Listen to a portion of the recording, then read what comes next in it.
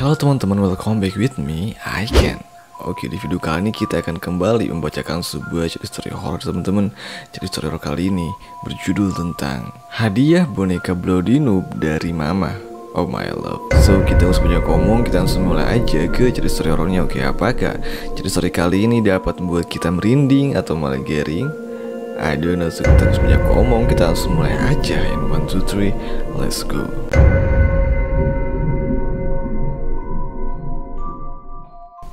Amelia ya teman-teman. Kita dapat chat dari si Amelia. Katanya Risa Risa kamu udah tidur. Oke Amelia ngechat jam 2 hampir jam 3 pagi ya. Belum Amel belum tidur kata si Risa. Ada apa? Kamu sendiri belum tidur. Gak ada apa-apa sih kata Amelia. Oke aku cuma lihat aja kontak kamu lagi online. Kalau aku udah tidur.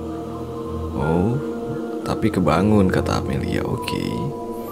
Oh kok kebangun? Kata si Risa. Gak nyenyak tidurnya. Oke. Okay. Kenapa Amelia terbangun dari tidurnya? Padahal ini masih malam teman-teman. Apakah Amelia gak nyenyak tidurnya? Kata si Risa. Bukan gak nyenyak tapi dibangunin sama mamah aku. Oh katanya dibangunin sama mamahnya teman-teman. Kok dibangunin? Emang ada apa? Kata si Risa teman-teman. Oke. okay. Gak tahu tuh mama aku kata Amelia Kok gak tahu? Bangunin aku terus ngasih aku boneka Ngasih boneka Ih mama kamu seru banget kayaknya Oke okay. Katanya Amelia dibangunin mamahnya dan dikasih boneka. Oh, ini boneka karakter dari Stumble Guy, teman-teman. Itu bukannya karakter yang ada di game Stumble Guy ya, kata si Risa ya. Oke. Okay. Iya, itu kata Amelia. Kok mamah kamu ngasihnya boneka Stumble Guy?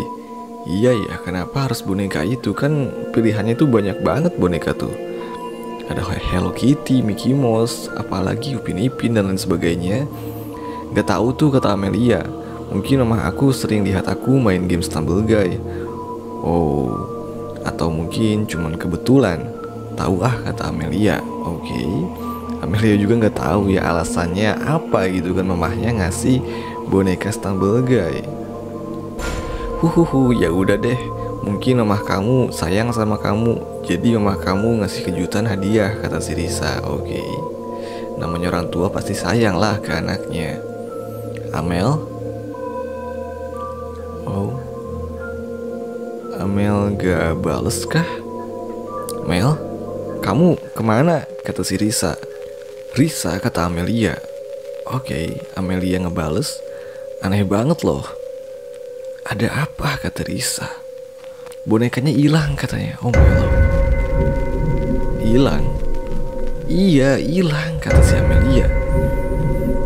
Kok bisa hilang sih? Aku kan lagi fokus chatan sama kamu. Iya. Terus terus pas aku lihat lagi bonekanya tiba-tiba hilang. Ya ampun aneh, aneh gak sih kata si Amelia. Aku jadi merinding. Wah, itu aneh banget sih. Masa hilang sih boneka kan gak bisa bergerak sendiri. Iya. Aneh banget teman-teman. Ya mana aku tahu kata Amelia Mama aku ngasih boneka apaan sih Aku jadi takut Oke Amelia ketakutan karena tiba-tiba boneka Stumblega yang dikasih mamanya itu Tiba-tiba menghilang teman-teman Amel kamu tahu creepypasta tentang Bloody Noob gak? Kata si Risa Iya tahu kata Amelia Oke yang katanya kalau kita main game jam 3 pagi, Bloody Noob itu bakal datang. Oke, kalau kita main game Stumble Guy jam 3 pagi, Bloody Noob itu katanya bakal datang. Kamu kepikiran nggak jangan-jangan boneka itu ada kaitannya sama Bloody Noob? Dan sekarang juga hampir jam 3 pagi. Oh my love. Si Risa punya pikiran kalau misalkan boneka itu ada hubungannya dengan Bloody Noob, teman-teman. Ah, enggak lah. Aku kan gak main game itu jam 3 pagi. Ya bener juga sih Jadi apa hubungannya sama Bloody Noob kata Amelia Hmm ya takutnya kata si Risa Oke Ya ampun Risa Oh ada apa Amelia Leher aku kok sakit banget kayak dicekik gitu. Wow, kayak dicekik. Oke, iya kata Amelia. Tolong aku Risa. Oh my love, kayaknya Amelia serius nih. Aku harus tolong gimana Amel kata si Risa. Ya ampun leher aku. Oh my love, kenapa sih Amelia?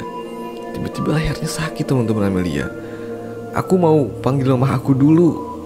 Ya udah panggil mama kamu. Aku jadi khawatir kata si Risa teman-teman. Risa, oke. Okay. Ada apa Amelia? Bonekanya ada. Wah. Oh my love teman-teman.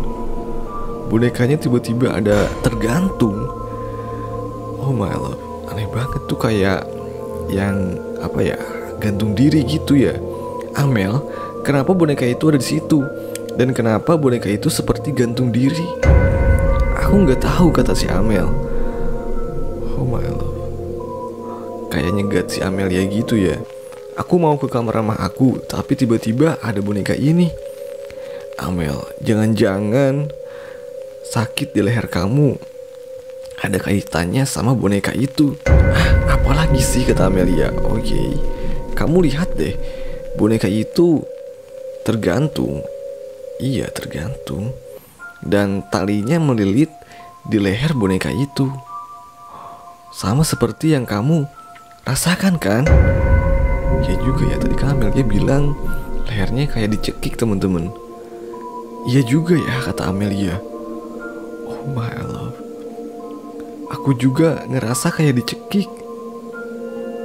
Gawat Risa. Aku susah nafas. Amelia susah nafas katanya teman-teman. Cekikannya semakin kuat. Ya udah kalau gitu cepetan ambil boneka itu.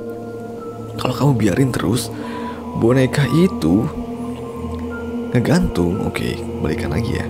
Kalau kamu biarin terus boneka itu ngegantung kayak gitu, kamu bisa mati. Oh my love. Iya, aku ambil bonekanya. Beneran loh. Oke, waktu boneka ini aku ambil, leherku nggak sakit dan gak sesek lagi. Berarti bener, sepertinya tubuh kamu terhubung sama boneka itu, kata si Risa teman-teman. Kok bisa ya? Kenapa bisa tubuh Ame Amelia ini terhubung dengan boneka Stumble Guy itu teman-teman Hah?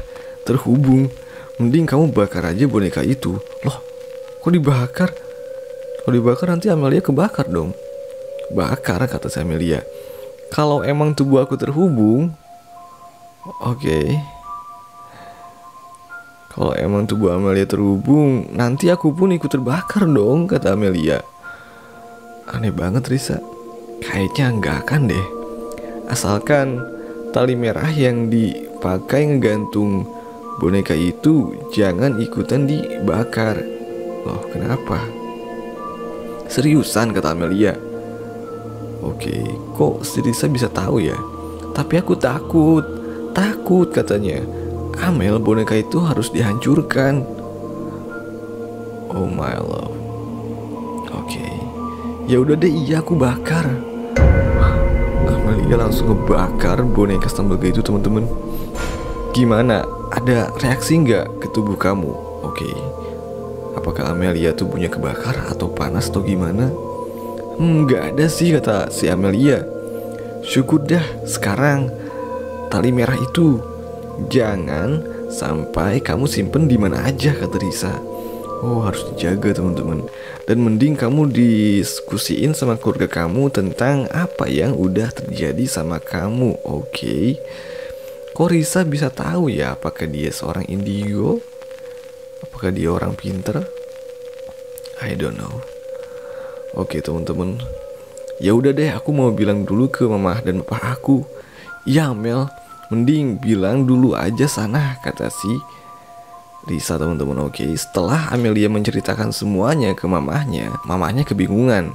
Mamah Amelia tidak memberikan boneka ke Amelia Bahkan ibunya mengaku sudah tertidur dari jam 8 malam Dan baru bangun ketika Amelia membangunkan mamahnya Amelia ingin memberikan bukti, tapi boneka itu sudah menjadi abu. Oh, karena terbakar tadi ya, karena dibakar. Dan tali merahnya pun tiba-tiba menghilang. Oh my lord, tali merahnya menghilang teman-teman. Aneh banget ya. Ibunya atau mamanya tidak memberikan boneka itu ke si Amelia, tapi katanya, kata si Amelia, Amelia itu dibangunkan sama mamahnya dan dikasih boneka itu sama mamahnya. Jadi sebenarnya siapa yang ngasih boneka itu ke si Amelia? Oh my love. Ya oke teman-teman begitulah untuk cerita horror kali ini ya. Bagaimana menurut kalian tentang cerita horror kali ini? Apakah cerita story kali ini dapat membuatkan merinding atau melegaring? Komen di bawah. Ya oke mungkin video kalian cukup sampai sini aja. Thank for watching this video. Mohon maaf bila perbuatan perkataan yang tidak enak yang sengaja maupun tidak disengaja. Oke. Okay? Again and soon time